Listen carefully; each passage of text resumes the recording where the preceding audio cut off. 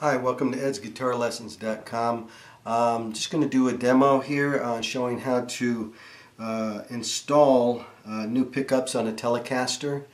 Um, and uh, basically uh, we're going to be putting in Tex, Texas Special Tele pickups um, that uh, you have here. Here's the neck pickup with three wires, a black, white, and yellow. And then here's the bridge pickup uh, just two wires and it's a yellow and a black. Uh, when you buy these pickups from the uh, uh Fender uh, custom shop uh, it comes with some instructions okay? So there are instructions to tell you how to do it there. And so that's very helpful. There'll be some things I'm sure that we'll have to look at because the color coding isn't right but um, I'm sure we'll be able to figure that out. Okay, I've already taken the screws out, um, and so we can kind of remove the control panel there with the switches and the uh, pots.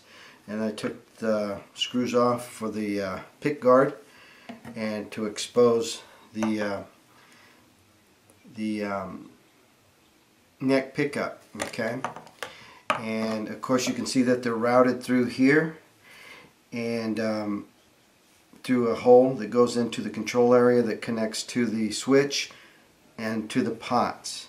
Okay, uh, We're going to have to take this bridge off uh, here and that means we're going to have to take all these saddles off and I would suggest numbering them uh, so that you know which one goes where. Um, and uh, so we'll do that next.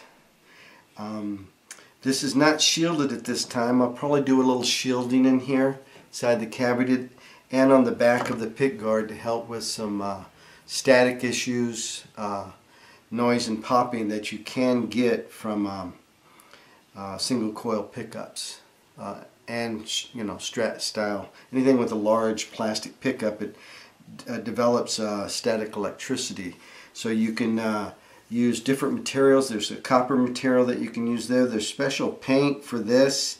Uh, I probably won't do this inside here. I'll just make sure that the grounding's done really well uh, inside the cavity. Um, but I will um, definitely put some uh, uh, um, a shielding on the back of this and it's basically you can use copper and there's some aluminum shielding that you can buy that has an adhesive on the back and that's probably what I'll do to kind of help that situation out. So um, I'm going to go ahead and take this off and uh, see you in a sec here.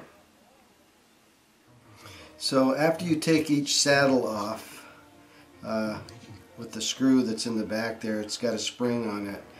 I suggest you keep them in order and or number them underneath where you can't see the number with a little fine tipped uh, sharpie or something or you can just keep them in a nice neat row uh, so that you can um, you know know which one goes where. Okay? So um, I have them all laid out here uh, in a row in the order that they came out. Uh, then you see these three screws exposed here uh, that you loosen up to uh, take the uh, the bridge off you can see them right here. They're under, they were underneath the saddles. Okay? And then once you take these three screws out that hold down the uh, bridge, you can see that it easily comes off and exposes the underbelly there of the uh, of the bridge. And you can see the three screws that uh, hold on the um, the uh, pickup there. So I'll be taking this apart. Uh, and this does look like it's been shielded with uh, paint there. You can see there's paint, this black paint inside here. Okay, and that's a shielding paint. It's a special paint to help. So I think with the shielding that's gone on in here, uh, with that special paint, um, and with the shielding that I'll put on the back of this Tele, it's going to be pretty, pretty quiet. Okay. Uh, by the way, I'm going to go back to these uh, these saddles. Uh, these saddles basically uh, have the screw here so you can adjust it back and forth for your intonation on the guitar. You have to um, adjust the intonation and that's what you use this screw for is it fine tunes it so that you can make sure that on the 12th fret you have the same tone as you do with an open string and if I have time I'll show you how to do that okay so that's what uh, the purpose of the saddles. It also these are dual adjustable. They have two allen wrenches in them two very small allen wrenches to adjust the height of each individual string which makes it very nice and uh, very uh, useful uh, to be able to get a nice action uh, for your guitar okay? You'll see once you loosen these three screws uh, for the pickup, it drops out the bottom so you're able to access it and access the wires that you need to access. Okay. Um, and you'll notice that when you flip this over, there's these rubber um, washers, grommets, whatever you want to call them, uh, and they act as the springs that when you so you when you adjust the height of the pickup, they act as a spring to keep it uh, steady in there. So they're not the pickup's just not floating around, but uh, they act as springs. They're almost it's like a surgical rubber is what it is, but they act like springs. But they go on the back side just like that. Okay.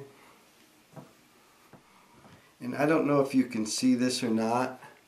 I'll zoom in to this point right here.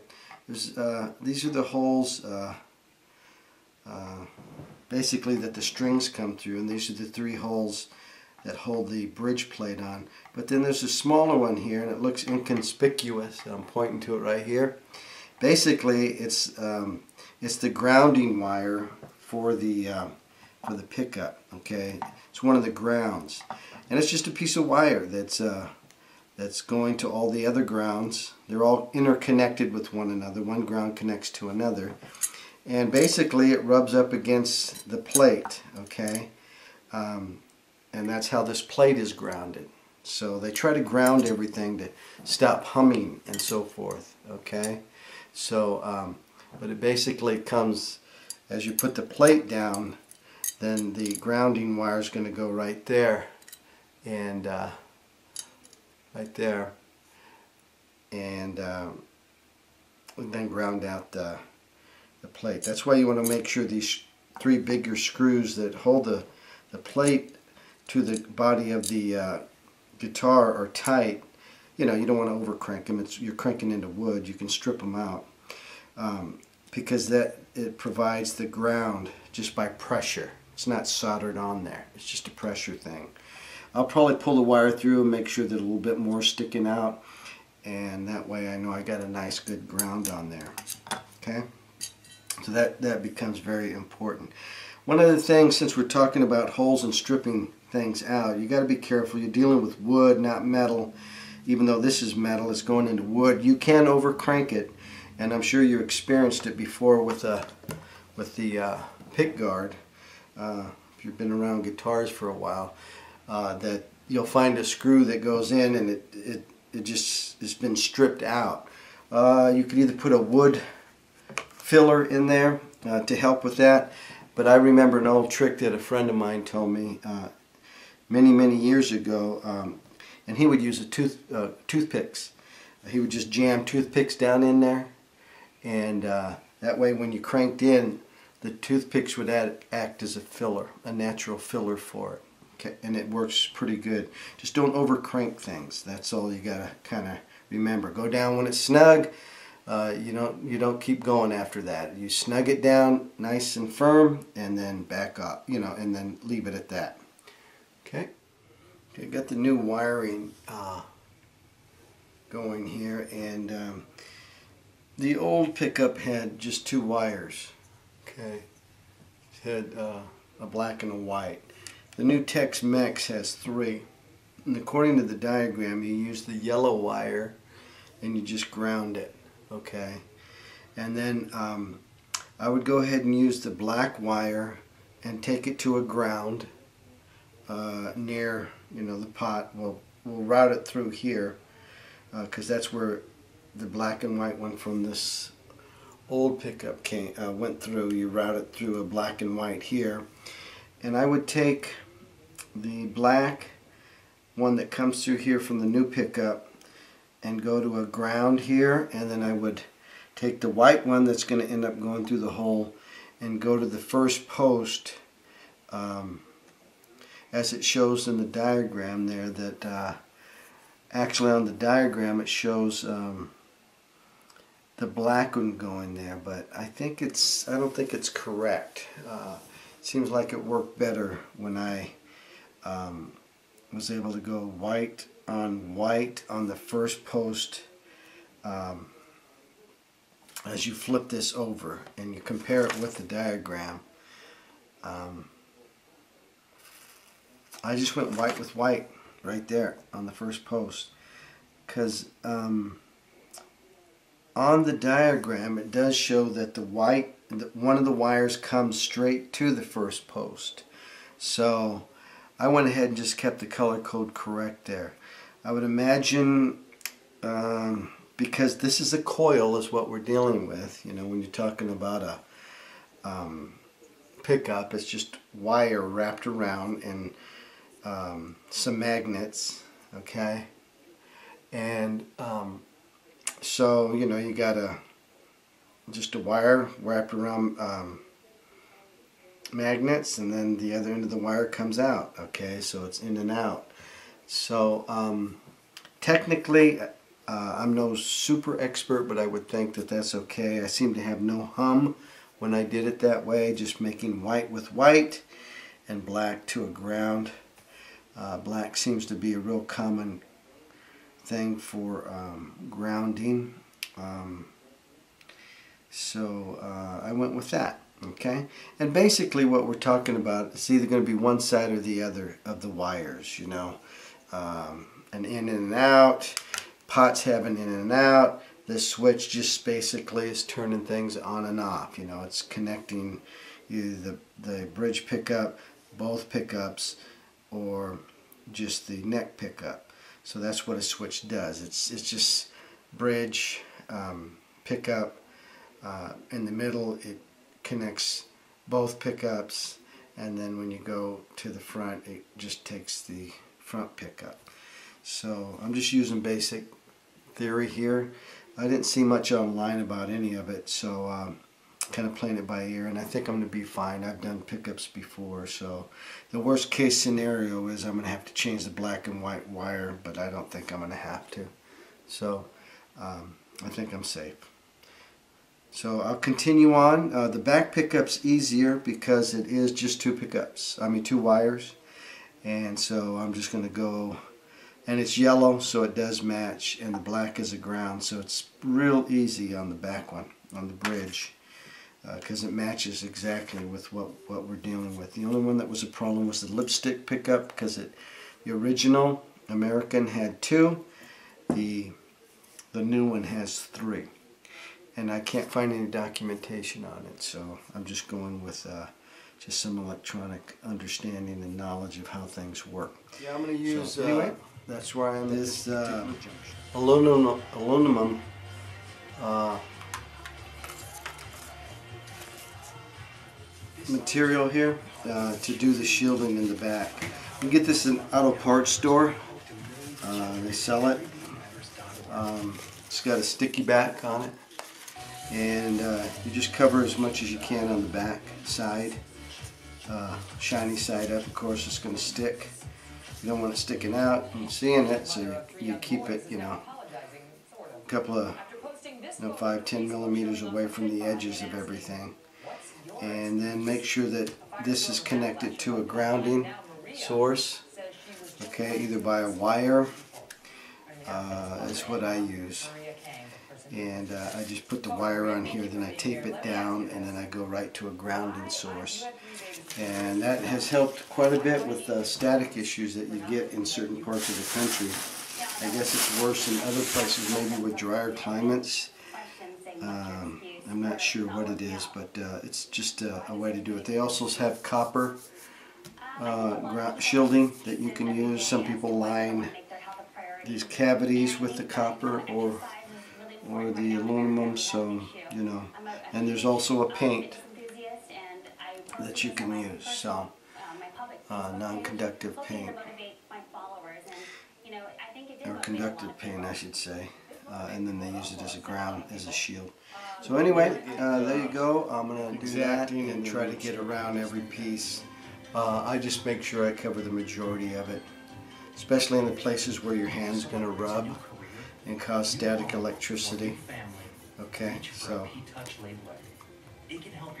just a thought and idea, especially if you're having static problems and you'll know it because you're strumming and you hear shh, shh, you actually hear a ticking, almost like a popping sound uh, coming through your amp and it's because you're building up static electricity on these pick guards. Okay, like I said, you can take a smaller piece uh, and you know near the grounding area, you take a wire off of here, solder it to here, small wire, and then um, you would, well actually you would tape it here, a bare wire.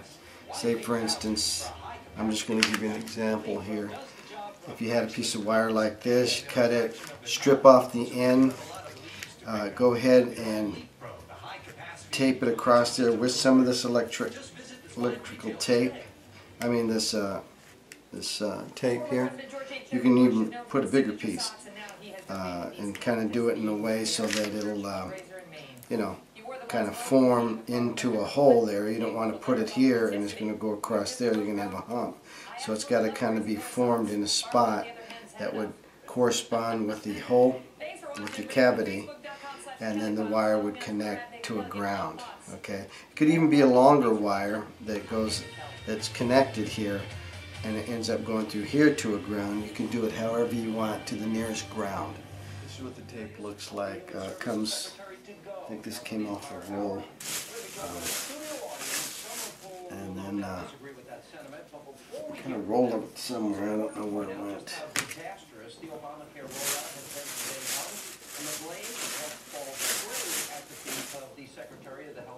Anyway, in this particular case you can see um, one of the things, they put this um, copper plate on the ones from the custom shop, like this is from the Fender custom shop, it's Tex-Mex pickup, and uh, this is actually a good modification. A lot of people are putting these brass plates on there and it really helps with the sound quality uh, of the Tex-Mex pickups and other pickups. So that's a mod that they use for, uh, it makes it brighter sounding. So I guess they figured that out, and that's part of the coolness of uh, of the sound that they get from a Tex-Mex is that uh, little copper plate there. That's part of what you get when you buy a Tex-Mex bridge pickup from the custom shop. see on the uh, standard bridge pickup, it doesn't have the brass, oh, excuse me, the copper plate there. Uh, but you can get the plate to put on these. I, you know, you can get them online, I guess, to make your regular standard bridge pickup. Uh, you know, it'll affect the tonality of it. So you could read up on it to see if you want to do something like that. Here you see me using a piece of tape to uh, to kind of tape and ground the uh, the wire that's going to be used as the ground. You're just taping it down and making sure that metal to metal contact. This is bare and it's going to go onto the ground wire here. Once I put this back on, I'm going to connect it right here. So you can see I got it all pieced back together, all the screws in and the pickups in and um, I tested it. One of the ways that I test it is putting the switch forward, uh, having the guitar plugged into a small amp, and you know your volume's all the way up. You should be able to hear a tapping noise because it's saying, you know, it's supposed to be for that pickup. In the middle, you should hear both, and in the back, just you should just hear the back and not in the front. So you know that that is wired correctly. Get the volume. Okay? So that's a good way to test. You have to have something metal, metallic to kind of tap on it so that you get the get a sound so you know that it's wired correctly. And of course I was doing that all along while I was doing the wiring to make sure everything was right before I put it back together. You don't want to just wire it and then test it. You do it while it's all apart so you know everything's working correctly.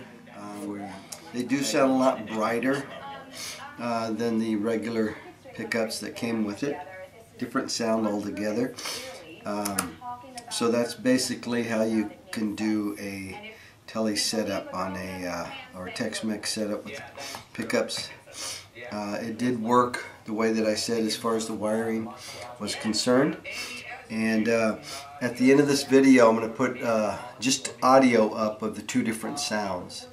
Okay, um, so I'll put the because I recorded it before I took the pickups out and then I recorded it afterwards. So I'll just put a couple minutes of that so you can hear the sound of this guitar uh, with uh, the old pickups and then with the new ones so thanks for watching edsguitarlessons.com God bless you and have a great day Okay, I'm just going to do a sound check here with uh, the old uh, strings, old pickups. This is the neck pickup. Everything's at full blast. I'm trying to go through a clean setting here.